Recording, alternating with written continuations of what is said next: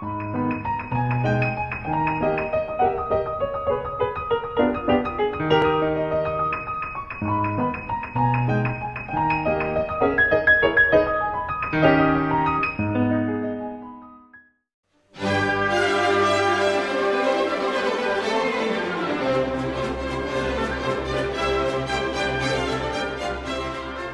творчеством Манюшка связывается осуществление мечты польского народа о создании своей национальной оперы.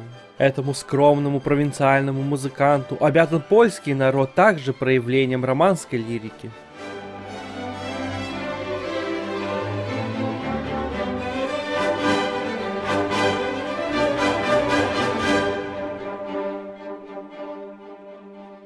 Воспитанный на оперных произведениях западноевропейских композиторов, Манюшка, тем не менее, отличается от них чертами, которые роднят его современными ему русскими писателями и композиторами, подчеркнутым интересом к теме социального протеста. Возможно, что именно эта направленность и объясняет немеркнущую популярность лучшей оперы Манюшка, Галька, Станислав Манюшка родился 5 мая 1819 года в поместье Убель, близ Минска. Мальчик вовсе не принадлежал к числу так называемых вундеркиндов, но с самых ранних лет чувствовал непреодолимое влечение к музыке. Мать первая заметила во мне сверкающую искру дарования, и как только пальцы мои немного окрепли, сама стала учить меня началом любимого искусства. Так рассказывает о своем детстве Манюшка. Он рос в помещичьей усадьбе в Белоруссии. Наблюдая жизнь крестьян, будущий композитор с детства полюбил народные обычаи, мелодии польских и белорусских песен. Отец Манюшка, в прошлом военный, увлекался искусством и решил дать своему единственному сыну разностороннее образование в Варшаве. Станислав берет уроки музыки у Фрейра, учится игре на органе, часто бывает на концертах и в опере. В Варшаве ставятся итальянские и французские оперы, выступают виртуозы-пианисты, скрипачи, великий Паганини.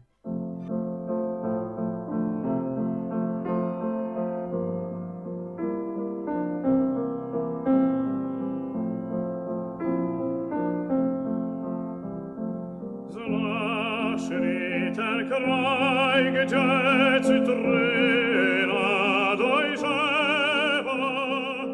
1830 году семья Манюшка возвращается в Минск. В их доме устраиваются музыкальные вечера, здесь поют, играют в четыре руки. В эти годы Станислав решает стать музыкантом. Станислав занимается сначала в Минске у Стефановича, а затем в Певческой академии в Берлине у Рунгенхагена, где получил настоящую профессиональную подготовку. Дарование Манюшка раскрывается не сразу. Ничего выдающегося не заметили в нем его учителя. В скромном близоруком юноше ничто не предвещает творца национальной оперы.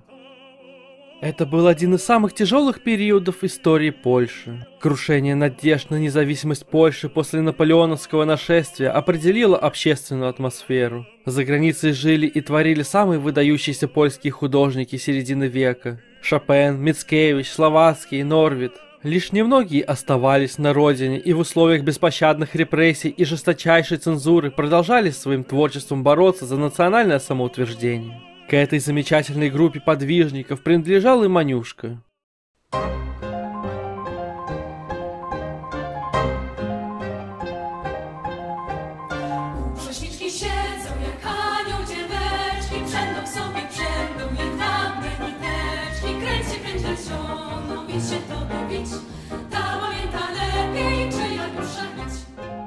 После обучения в Берлине Манюшка получает скромную должность органиста в костеле города Вильна. В городе не было ни оперного, ни постоянного драматического театра, и даже собрать симфонический оркестр в полном составе было выше возможностей виленских любителей музыки. В этом духовном пустыре Манюшка прожил 20 лет. Здесь создал он свои редкие по красоте домашние песенки, едва ли не первые национальные произведения для голоса. Уже через несколько лет после появления этого сборника, по словам современников, почти на всех концертах звучат песни Манюшка. Нет зала или гостиной, где бы их не пели. Первому из своих 12 песенников, вышедшему в 1841 году, композитор предпослал развернутый проспект, в котором излагал свое эстетическое кредо. Предназначая эти романсы для домашнего исполнения, Манюшка ставил своей целью повысить художественный уровень польского бытового музицирования, приблизить его к самым высоким достижениям современной профессиональной музыки. Лучшие художники открыли этот неисчерпаемый родник гармонии и начали его разрабатывать. Поэты, изучая самобытную поэзию народа, пользуясь его тематикой, стали сочинять песни национального характера, писал композитор.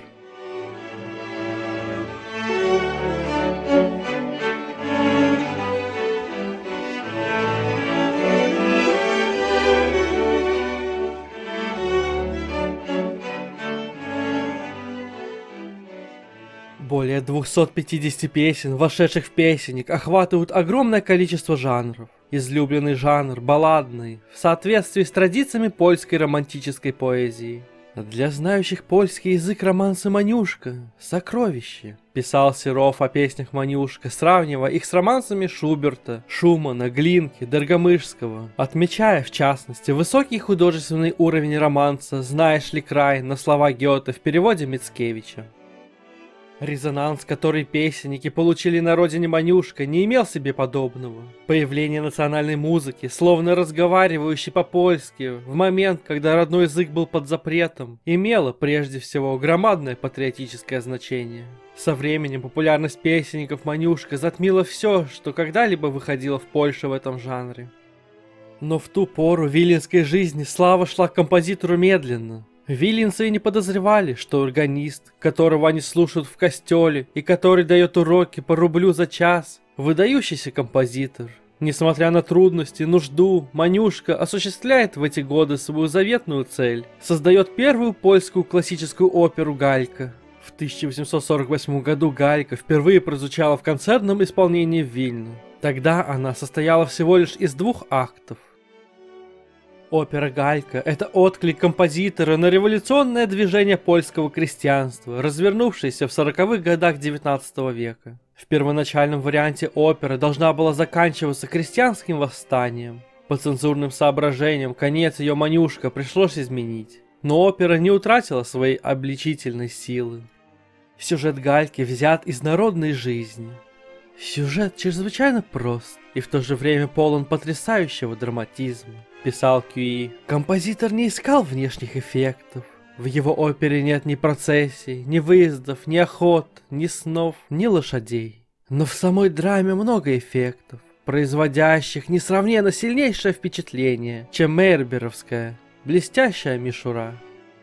Опера лирична и напевна, музыкальный язык ее драматичен и глубоко народен, хотя Манюшка и не ввел в гальку ни одной польской народной песни. Необыкновенная нежность, грациозность, сердечность при постоянной красоте звука, писала в музыкальном стиле Манюшка Серов.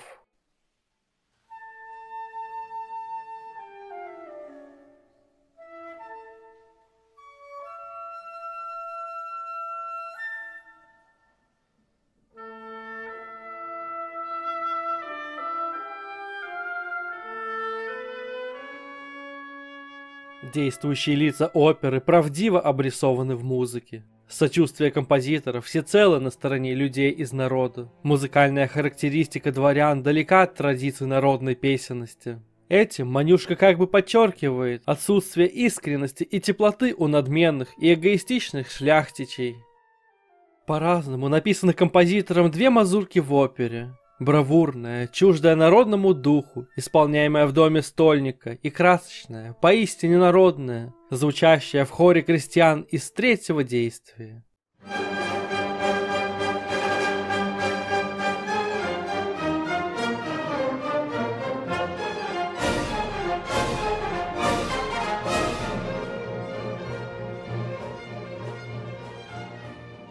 Структура оперы Галька основывается на общепринятых в те годы замкнутых номерах. Но в пределах этих закругленных форм Манюшка достигает высокой степени реализма в воплощении драматических образов сюжета. В частности, большая роль принадлежит оркестру, который, обогащая нюансы вокальной партии, придает ей такую гибкость и драматическую выразительность, что Галька воспринимается как свободная музыкальная драма в духе исканий романтиков.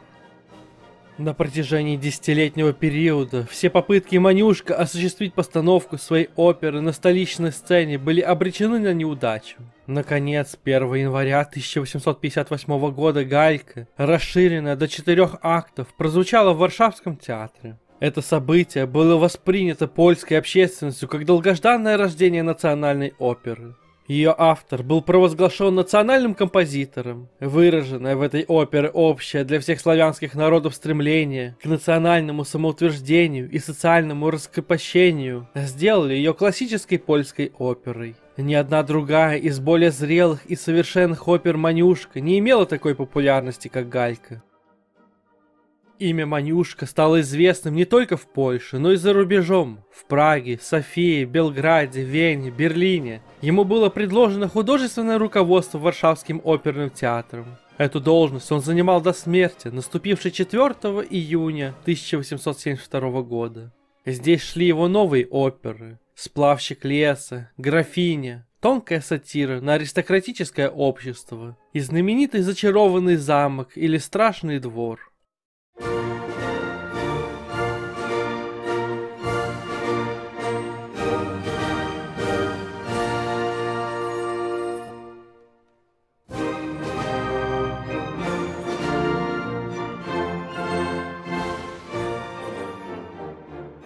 Опера «Зачарованный замок», написанный в 1861-64 годы, знаменует собой не только рождение польской музыкальной комедии, но и вершину мастерства самого композитора. Сохранив мелодическое богатство гальки, это позднее произведение композитора отличается гораздо большим разнообразием эмоциональных оттенков, значительно большим сценическим мастерством, театральностью и динамикой музыки. Раскрытие музыкальными средствами атмосферы старинной шляхетской усадьбы, показ фантастики в гротескном плане. Все это знаменовало новое явление в польской музыке. На публику 1860-х годов образы польского военного лагеря и рыцарей в латах производили очень сильное впечатление.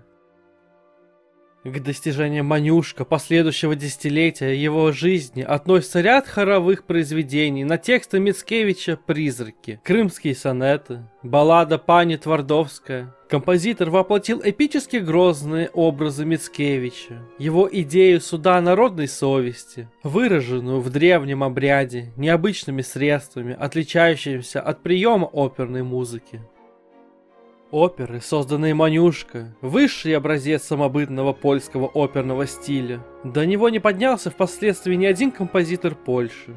Но сам Манюшка с присущей ему удивительной скромностью говорил о своем творчестве.